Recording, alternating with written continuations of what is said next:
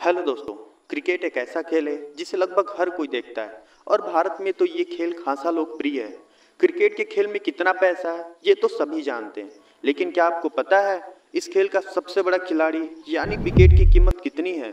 Cricket में जो LED stumps होते हैं, उनका आविष्कार किसने किया?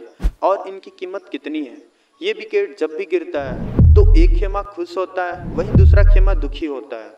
सालों पहले जो स्टम्प्स क्रिकेट में चलते थे, वो बेहद साधारण होते थे।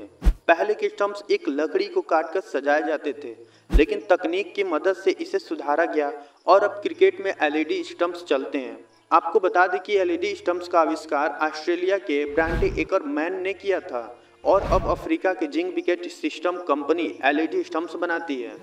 विश्व कप जिसे साल में चार साल बाद खेला जाता है और इसमें हर साल करीब 12 से 13 टीमें हिस्सा लेती हैं। ऐसा माना जाता है कि पिछले विश्व कप में आईसीसी ने एलईडी स्टम्प्स पर करीब 50 लाख रुपए खर्च किए थे। इन एलईडी स्टम्प्स को पहली बार 2013 का विश्व कप के दौरान आईसीसी ने अपनाया था। इससे पहले इन्हें ऑस्ट्रेलिया में होने वाले मशहूर बिग बैश लीग में इस्तेमाल किया गया था। बिग बैश लीग में इसकी सफलता के बाद इसे 2013 में पहली बार इस्तेमाल किया गया था। एलईडी स्टम्प्स फ़िलहाल वनडे और टी ट्वेंटी में इस्तेमाल होते हैं। अंपायरिंग में मददगार इस टेक्नोलॉजी की वजह से स्टम्प्स दुनिया के सबसे महँगे स्टम्प्स होते हैं।